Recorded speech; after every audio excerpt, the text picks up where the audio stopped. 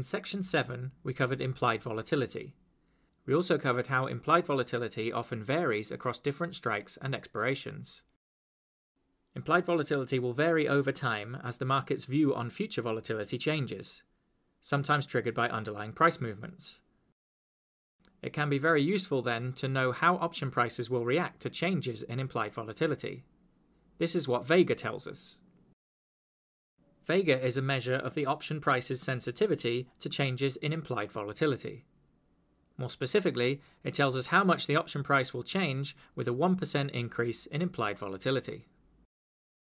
Vega is always positive for option buyers, meaning their option will gain value if implied volatility increases.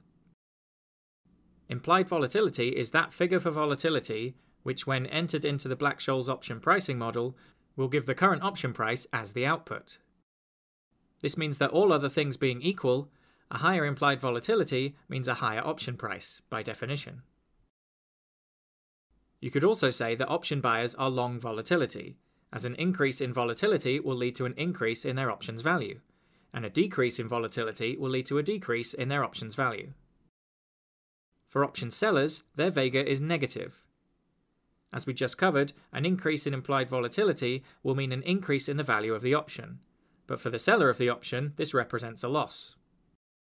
Similarly, a decrease in implied volatility will lead to a decrease in the value of the option, which for the seller of the option represents a profit. Option sellers, therefore, are short volatility.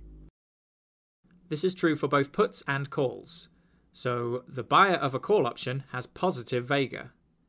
The buyer of a put option also has a positive Vega. The seller of a call option has a negative Vega, and the seller of a put option also has a negative Vega. Of course, any gain for the option buyer is a loss for the option seller, and vice versa. For example, an option with a Vega of 20 will gain $20 of value if implied volatility increases by 1%. This would represent a 20 cents increase in profit for the buyer of the option and a 20 cents decrease in profit for the seller of the option. An option with a Vega of 0.35 will gain 35 cents of value if implied volatility increases by 1%. This would represent a 35 cents increase in profit for the buyer of the option and a 35 cent decrease in profit for the seller of the option.